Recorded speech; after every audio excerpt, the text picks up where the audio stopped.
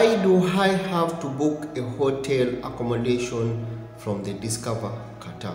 Remember, when we are talking about hotel booking in Qatar, most of the time the hotel bookings for any cause in Qatar, if it is not for personal, but if it is under a government directive, it is normally booked under what we call the Discover uh, Discover Qatar website.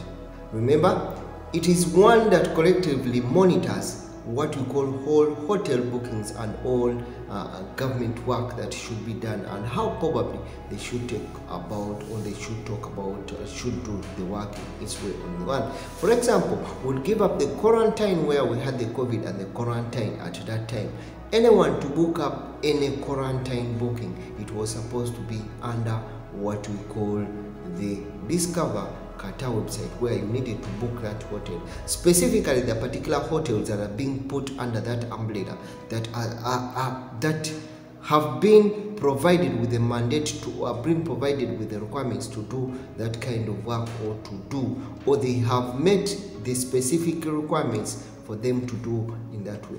For for this case, if you are booking a visa on arrival if you are booking a visa on arrival still also it is mandated by the ministry of interior for you to book a hotel using the same website because it comes a little bit very easier for them to monitor and very easier for them to know the truthiness or the proofness of your booking. Remember when you book that when you book that hotel a lot of details or your details will be collected away from you. And when those details are collected from you they will definitely be passed on to what we call the response people for that cause that you want that booking for. And definitely it becomes a little bit uh, very easier for you or very even to access the services itself.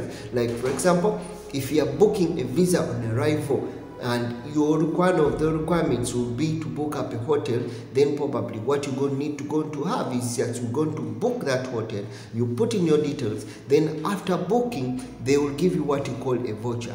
That voucher only that is being given to you it's a go ahead or is one proof that you can access or you can get the visa and you can come into the country. Hope i've tried to answer you your questions well. However something that to note if you book an hotel that is outside the uh, outside um, discover qatar website then probably your your your requirement or your application for that particular visa or for that particular case will be rejected in any way because it will not be in line with what you call the monitor. So if you are going to book any visa or if you're going to book a visa on arrival or you're going to book what you call a visiting visa and that requirement is for you to book an hotel, yes probably the best solution or the better way to to, to, to make things move faster is to book that hotel in what you call under the umbrella or what you call using the Discover